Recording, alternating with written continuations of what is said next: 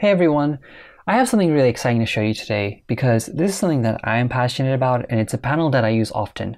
If you're not familiar with Retouching Toolkit, this is a panel developed by Conny Wallstrom and Conny Wallstrom also developed my Infinite Color panel um, which is my color grading panel. And the reason I bring this up is because I've been following Conny for years now, and this panel has helped me a lot in my retouching workflow because it has certain tools, like the Gradient Map Maker, which allows me to even out skin tones, and you see me using gradient maps all the time. Well, I use this to expedite my process, and has other things like Smart Liquify and things like that. If you're not familiar with Retouching Toolkit, just go to retouchingtools.com. You can check it out and also the link in the description accompanying this video. But what this video is about is Retouching Toolkit 3.0. Now 3.0 is an evolution of panels as a whole and I think it's unfair to call it 3.0 and it should be its own name separately because it's that different than everything that I've seen online and there's such a huge network already forming around Retouching Toolkit 3.0 that it's important to talk about. At least I think it is.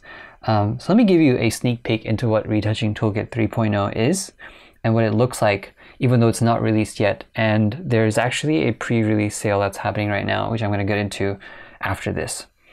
So this screenshot itself, let me actually hide this panel so it doesn't get really complicated. This screenshot itself here has um, an idea of what Retouching Toolkit 3.0 looks like. And as you may have guessed it, from looking at these three panels here, these are modular panels.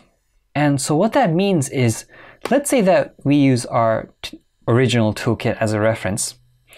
Let's say, for example, we want to take out this mask button or this export button, or we want to change what it does, and we want it to fully fit our workflow? Well, in this setup, you actually can't do that. You're stuck with what it offers you in the layout that it offers you. With this setup here, it's modular. So 3.0 is actually going to be something that's crafted around you and your needs. So let's say you have these different buttons here in the middle where you can make them do whatever you want them to do. So if you want that to be the dodge and burn button or the retouching setup button that I normally use, then you can just hit a button and the script will run and then automatically sets everything up for you. So maybe you want this button to be a certain adjustment layer, maybe you want that button to be dodge and burn, etc., etc., etc. And you can change the color, you can change the name, you can change the layout. Um, it even makes breakfast for you. It's amazing. And the other great part is even has little tool icons you can change. You can change adjustment layers, you can add them, you can drop them.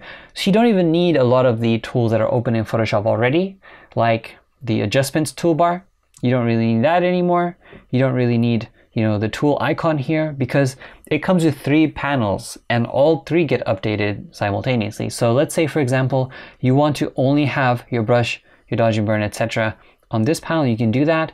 You can change multiple options and it's just it's just so incredible that he's able to do this. So this retouching toolkit 3.0 comes with this configurator and that's why it looks a little bit complicated because this is the place where you go to configure it off the bat, by default, when you get 3.0, it just comes with everything this original retouching toolkit has and the ability to customize it. So if you don't want all of this, you get it and you can take it off and customize it to what you want to make it look like basically. So that's kind of what it looks like. The next best part about this is let's say that in the future there's a little update that happens where, where myself or Conny comes up with an idea that says, hey, I invented something new that we could do with Photoshop with a script, maybe something color graded related. Well, you can download or purchase that little separate module or tool separately and then just imports into your toolkit. So then automatically you're able to just update this with that single additional add-on should you want it. And that is so cool because we have all these ideas between Conny, myself,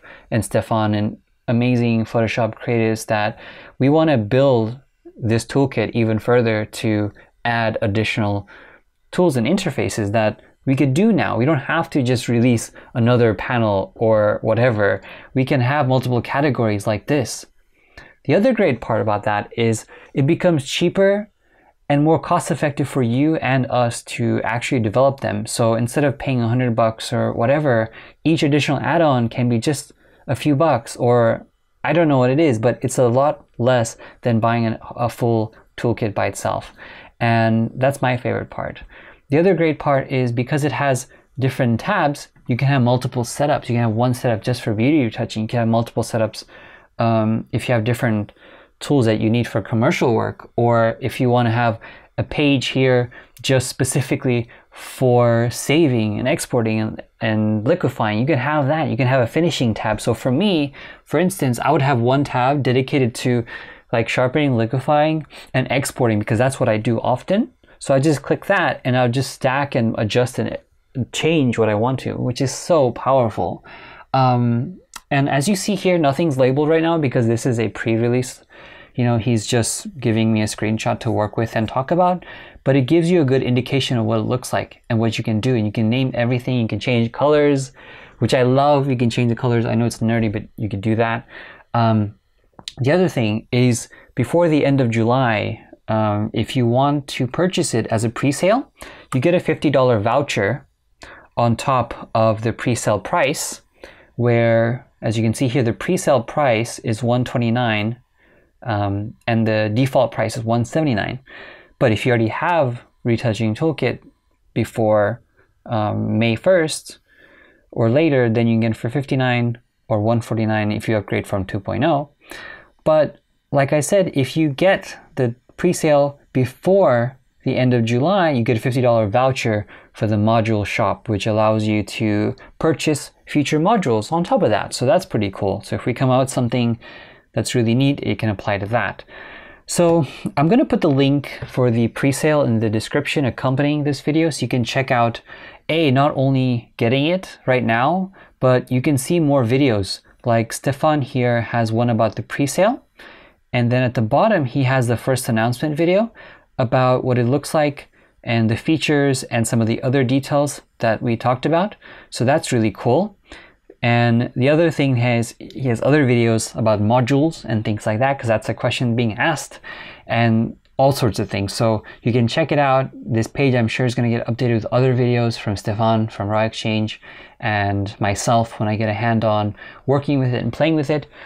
And yeah, so that's pretty much it. So I'm going to link this in the description. Go check it out. I'm excited for it. And the pre sale as a whole should be there for the month of August.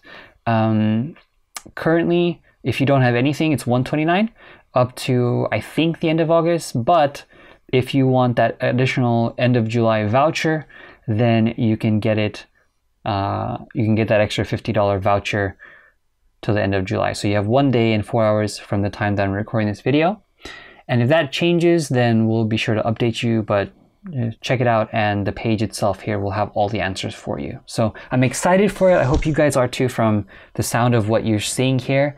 It's going to completely revolutionize a lot of workflows um, considering, you know, this is not only good for people who are beginners and want a really simple and easy to use interface that can be customized what they want, but also people can, you know, have their own interfaces and then show other people this is what I've done. And it becomes a community of people who just really you know are passionate about workflow and passionate about having certain tools and and seeing the most up-to-date advancements in Photoshop and scripting that we can do to come up with different ideas for Photoshop. So I'm excited about that. And I'm going to stop talking now because I'm too excited. And I hope you check it out. Let me know if you do. I'll be excited to talk to you further and join the discussion below.